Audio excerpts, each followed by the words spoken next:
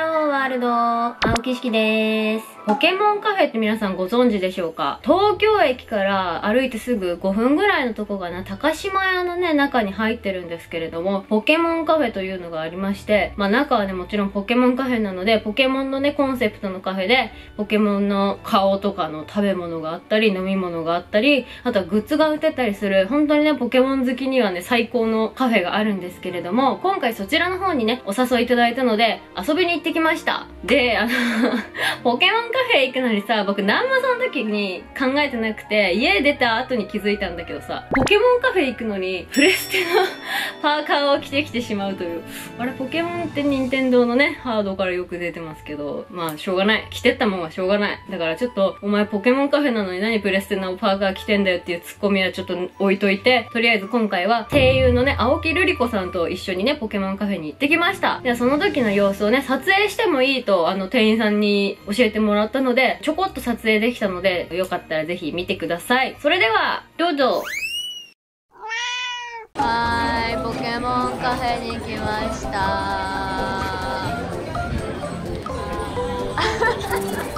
ゆりこさんと来てます。これがさっきのやつだ。あプレート付きの入り口のとこ、これ全部もらえるんですかね。うんピカチュウプレートついてるって書いてあったよあ本当。あでププレート付きって書いて、ピカチュウないんだ。ええ出た。でかい、でかいやつ、絶対でかい。これささ選べるやあつでしょ？ー、ラテ。え、これ、すげえいる。え、151ぐらいまでいるのかな？あそっか。んな。え、すごい、な、え、なんで？いるいるいるいるすげえすげえ。やばテンション上がります。え待って。あでートまでじゃない？あってことはゾロアはいないですね。すいませんねあちょっとね最初。配慮まさか配慮が。ウケる。でも僕コーヒーが飲めないっていう致命傷がある。んですでもメッソンかわいいな。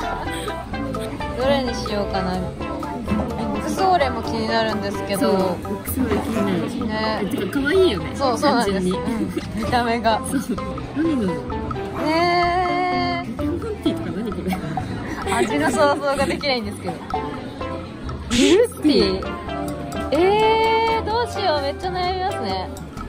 え僕ミックスオーレにしようかな。どっち？えー、うん、ベリーにします。ベリー。じ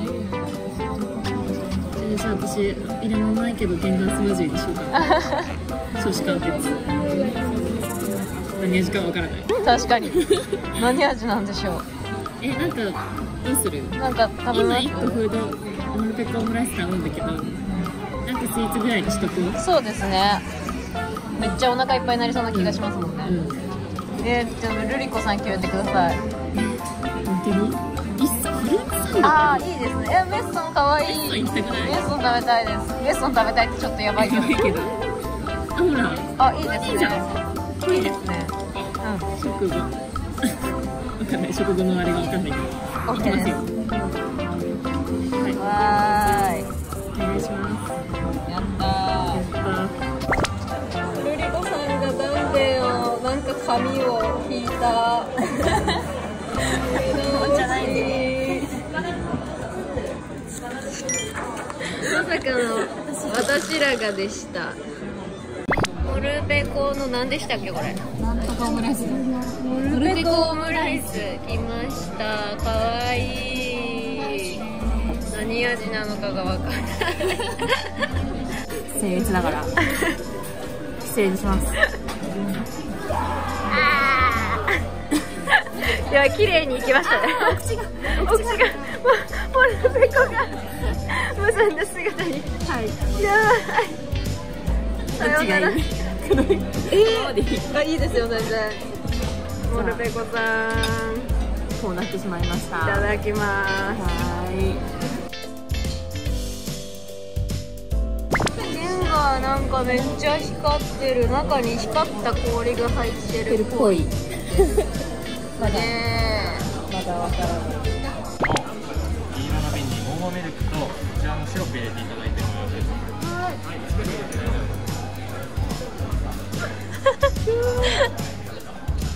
弱いちょっとまともに開けれる気がしないもんいやもうもう可愛いもう可愛い。です死ぬまでに一度は飲みたかったんだよモモミルクを。ちゃんとちゃんと瓶がね瓶がめっちゃ可愛いえ。あ可愛い本当だ。ミルタンク印だ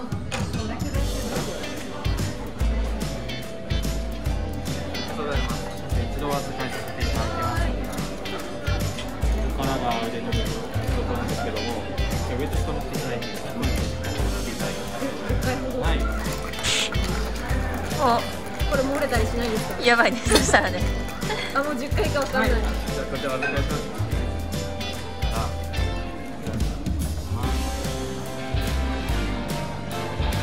これ混ざってるんですか？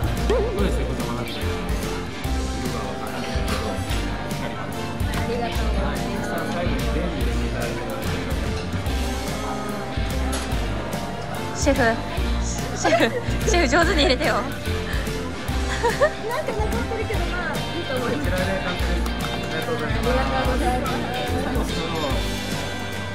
お返しもよろしいでしょうか。ありがとうございますありがとうございます。ごゆっくりどうぞ。いただきます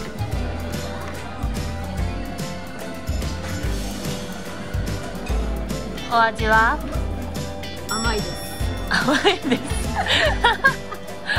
プレイステーション。え ルリコさん引き強あ可愛い。皆さんどうぞお好きなピカチュウたちお願いします。えルリコさんどれ押しました？そう花のやつあー可愛い。えー、うんうん。はい。ヒバあヒバニーか。やばい負けちゃう。ありがとうございます。もらった。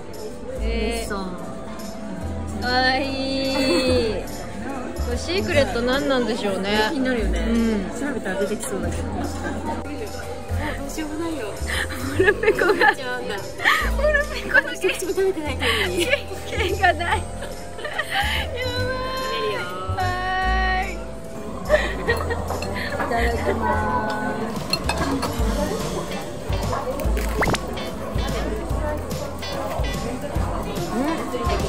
うんなんでしょうこれやばい僕ちょっと味が味がわからない人だなんかビーフシチューみたいな味がします。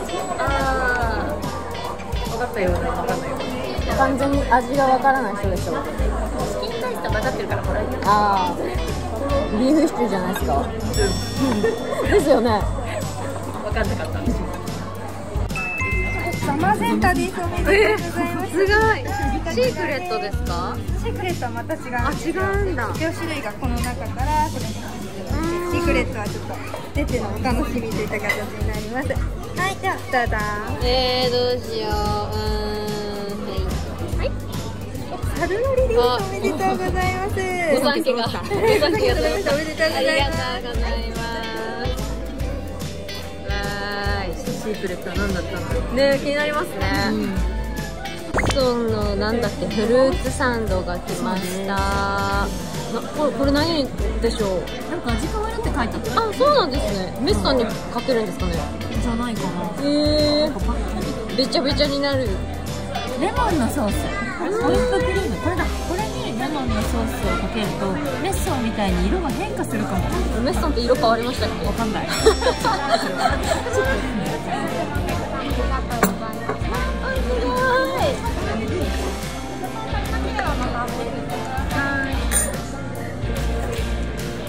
くりした僕今梅干しがついてきたのかな。や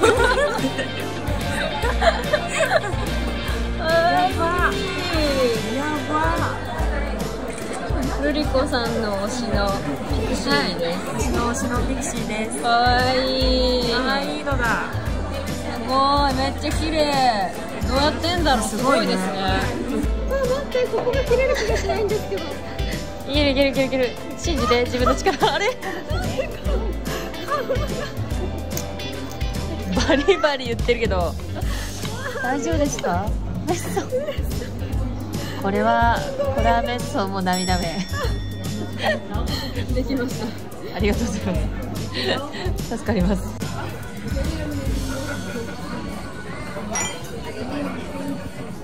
あすげえ本当だなんかピンクっぽくなった。ねめっちゃかけるじゃないですか。やっぱなんか見たいなって。思っちゃってる色変わった。はい。かわい。いメッソンがいなくなりました。誰がいなくならせたんですか？誰でしょう。ルリコさんが食べました。店内の壁いっぱいなんかいろいろ飾ってありますす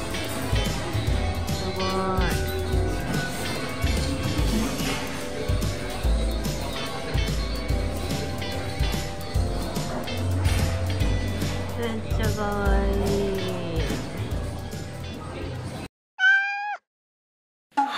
こんな感じでね、店内入る時から本当はね、撮れたらよかったんですけれども、あの、店内撮影 OK だって知らなかったので、あとルリコさんもね、声とか動画に乗っけていいよっておっしゃってくれるとね、僕思ってなかったんですよ。もうお金をお支払いしなきゃいけないと思ってたので、あの、本当にね、あ、いいよって声乗っけ、の声乗りますけど大丈夫ですかって聞いたら、いいよっておっしゃってくださったので、なんとあの、ちょっとそのお言葉に甘えさせていただきまして、今回ね、YouTube の方にね、乗っけさせていただきました。で、あとね、ポケモンカフェのすぐ隣っていうかもうなんか合体してる感じなんですけど、ポケモンセンターもね、隣にあったので、帰りにね、寄ってきました。で、ヌメラのぬいぐるみが欲しくて、ポケモンセンターに売ってないかなと思ってね、見に行ったんですけど、予想以上に欲しいものがたくさんあって、いろいろ買いすぎてしまいました。なのでね、せっかくなので、その時にポケモンセンターで買ったね、グッズをご紹介していきたいと思います。で、これ2袋に分かれてるんですけど、片方はポケモンカフェね。どっち？あ、ん？どっちだ？こっちかな？うん、わかんない。こっちか。こっちがポケモンカフェかな？で、こっちがポケモンセンターで買ったものです。まずじゃあ、ポケモンカフェのね、ものから紹介しよう。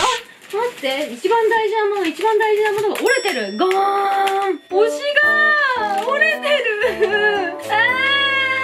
俺が雑な扱いをするからでも大丈夫。推しにはね推しには大丈夫で。推しは綺麗なまま。そうあのね VTR にも出てたと思うんですけれどもポケモンカフェのねなんかランチョンマット代わりに紙がねいっぱい引いてあるんですよそこ多分今ポケモンのソードシールド仕様なのかな？のランチョンマット風の紙？まあ紙が引いてあるんですよで、それね、お持ち帰りいただけますよっていうことだったんで、まあ僕の動画見てもらったらわかる通り、僕の座ってた席がね、私らがっていうこの子ですね。この子の紙だったんですよ。で、ご存知の方もいると思うんですけど、僕あの、ソードシールドだとあのね、チャンピオンのダンデが一押しで、まあ次に好きなのはキバナさんなんですけど、まあダンデがとにかく好きで、そしたらルリコさんのね、動画でも見た通りに、ルリコさんの席がダンデだったんですよ。で、うわー推しだーって僕が騒いでたら、ちょっとルリコさんが本当に優しくて、あげようかっつってくれたんですよ、ダンデも。だから僕そのお言葉に甘えて、こちら、でーん推しの紙をもらってしまいました。ありがとうございます。めっちゃ嬉し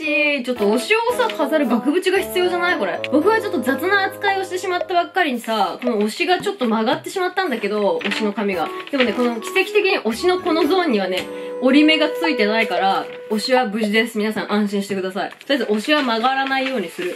あとはですね、飲み物を僕頼んだんですけど、飲み物のメインが、あの、その飲み物本体じゃなくて、こちら、と、反射して見えにくいかなこれ、あのね、透明のタンブラーですね、ポケモンカフェ限定の。で、上にはこうやってストローを刺す穴があるので、めっちゃ使いやすい。これはだからね、タンブラーセットのドリンクだったので、1600円とかだったかなで、あともう一個ポケモンカフェで買いました。これはね、あの、事前にね、サイトで見てって欲しかったやつなんですけれども、はい、カビゴンの、これ、お皿です。お皿。めっちゃ可愛くない？ね、カビゴンのお腹のとこにね、ご飯とかいろいろおかずとか乗っけられるんですけど、めっちゃ可愛いよね、これ。はい、ポケモンカフェのグッズは以上になります。そんで、こっからは、ポケモンセンターで買ったグッズをご紹介していきたいと思います。まずはこちら。はい、これね、あの尻尾を曲げて、玄関とかに貼れる鍵のフックですね。これ、ヤドン。他にはピカチュウとか EV とかいろんなポケモンがあったんですけど、いや、絶対ヤドンやろうと思って、ヤドン一択でヤドン買いました。で、次。はい、こちらです。これ、身代わ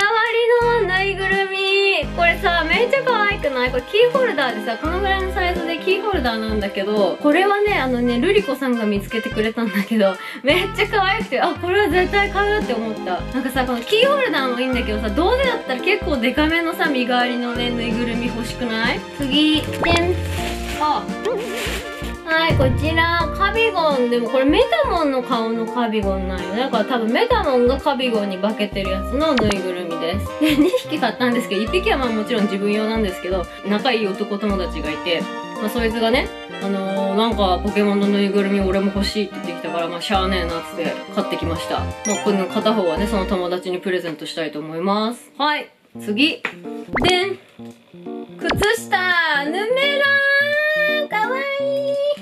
これヌメラとね、ゴクリンの靴下、めっちゃ可愛くない？本当はね、もともとそう、あの、ヌメラのね、ぬいぐるみとかがないかなと思って探しに行ったんですけど、あんまりね、あのもうヌメラグッズが残ってなくて多分人気で今全然売ってないっぽいんですよ。で、これなんと、選べる3足ソックスって書いてある通りに、これ3足でなんぼみたいな、3足でいくらなのか実際は知らないんですけど、なんか3足買ったら多分お得な感じの靴下なので、せっかくだからいろんなね、いっぱい靴下あるんですよ、ポケモン。だからせっかくだから3足買ってきました。2足目こちら。ゴクリンとヌメラ3足目はこちら。ゴクリンとヌメラ はい、ということでね、まさかの全部ゴクリンとヌメラを買いました。僕ね、絶対汚したくないからさ、鑑賞用っていうか保存用って絶対作っちゃうのよ。オタクだから。このね、ヌメラとゴクリンは保存用として1個は取っておきます。はい、ということで、あ、まだあったわ。そうそうそう、まだあった。ちっちゃいから忘れてたわ。はい、これ、リザードンのステッカーですね。炎を吐きますって書いてある。僕ね、ポケモンのね、一番推しのポケモンは、ゾロアなんですけど、なんかゾロアのグッズ全然売ってなくて、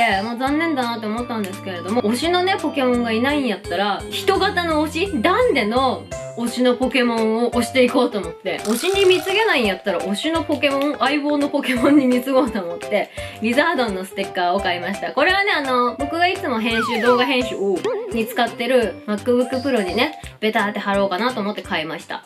はい、ということで、えー、こんな感じで、ルリコさんにお誘いいただきました。ポケモンセンター、ポケモンカフェに行ってきました。ルリコさんとね、あの、プライベートで遊んだのも、これが初めてだったので、すごいそれもね、楽しくてドキドキだったんですけれども、ポケモンカフェも初めてだったので、すっごいとにかく楽しかった。で、期間限定のメニューを今回食べたんですけれども、またね、その期間限定のメニューが変わったら、またきたいね、みたいなお話をしてたので、またね、行けたら撮影できたらなと思っております。はい、最後までご視聴いただきありがとうございました。またね、なんか行ってみたいカフェとか行ってみたいちょっと変わったご飯屋さんとかいろいろあるので、そういうところに行った時はね、撮影 OK だったらまたこうやってね、撮影していろいろお話できたらなと思っております。なんかこういうお店に行ってほしいとか、こういうコンセプトカフェに行ってほしいとか、何かね、リクエストがございましたら、ぜひぜひコメント欄に書いていただけますと、僕もね、いろんなとこ行ってみたいなって、ちょっと今年はアクティブにリア充になりたいので、いろんなとこ行って動画撮影 OK だったら撮影していきたいなと思っておりますので、気軽にコメントください。よろしくお願いします。それでは、また次回の動画でお会いしましょうバイバーイバイバーイ